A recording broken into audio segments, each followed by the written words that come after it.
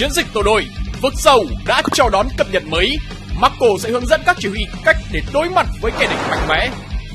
Sau những biến động gần đây ở khu vực Kemut, mối nguy hiểm mới đã nảy sinh trên quần đảo. Các chỉ huy sẽ phải đối mặt với kẻ địch bị dính lời nguyền điều khiển. Khi bước chân lên đảo, nhiệm vụ chính của các chỉ huy là khám phá đảo và tìm ra mục tiêu.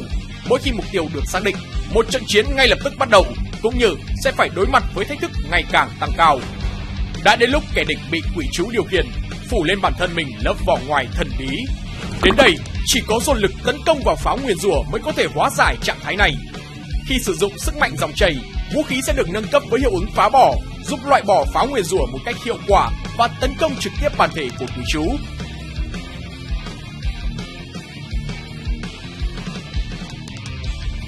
Đối mặt với hai trạng thái xuất hiện của boss, chiến lược đối đầu cần phải linh hoạt.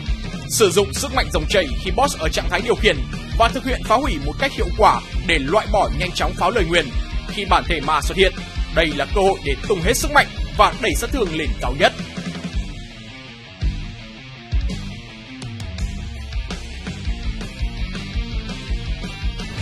Sau khi vượt qua thách thức, đến lúc nhận thưởng, tinh túy triệu hồi và loại mới sẽ đợi bạn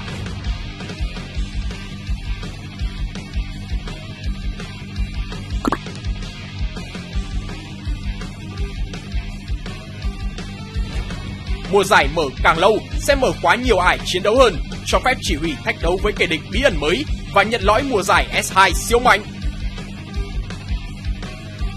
Đó là toàn bộ nội dung chiến dịch tổ đội vực sâu. Chúc các chỉ huy tìm ra cách giải quyết nhanh lời nguyền thành công.